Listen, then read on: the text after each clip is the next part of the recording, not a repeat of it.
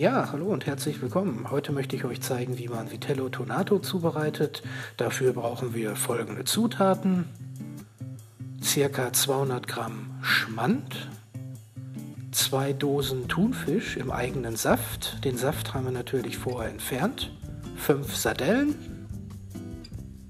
einen guten Esslöffel Kapern, frisch gemahlenen schwarzen Pfeffer, 200 Milliliter Mayonnaise. Ja, das sind unsere Zutaten fürs Vitello. So, ich gebe das hier einfach mal in den Becher rein. Und dann können wir das Ganze hier auch mit so einem Mixstab schön verquirlen, vermengen. So. Ich gebe hier noch mal ein bisschen Mayo rein. So, noch mal probieren. Also wie man sieht, das ist noch etwas flüssig. Ja, also hm. Ich habe jetzt noch mal die gleiche Menge an Sardellen und Kapern hinzugefügt. Ja, also praktisch das Doppelte reingeknallt, was ursprünglich gesagt wurde.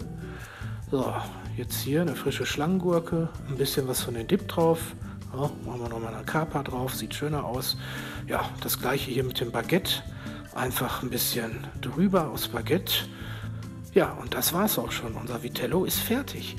Ähm, ja, ich finde, das passt hervorragend zu Baguette und Schlangengurke. Äh, das kann man immer so nebenbei als Dip essen. Ähm, ja, probiert's einfach mal aus. Ich wette, eure Freunde werden begeistert sein. Ja, kann ich nur sagen, guten Appetit und viel Spaß beim Nachmachen.